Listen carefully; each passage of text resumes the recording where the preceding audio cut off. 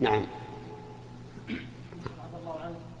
في قول الله عز وجل في سورة الإنسان ودانية عليهم ظلالها. معناه يا شيخ؟ نعم. معناه يا شيخ. يعني ظلال الشجر دانية عليهم. ما هي بعيدة؟ يعني كلما دانت. ظل الشجر صار الظل أترف وأبرد. نعم. نعم.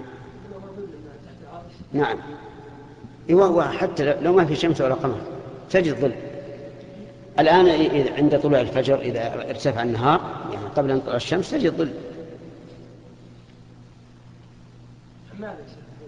عن النور اللي ينبعث من تحت العرش.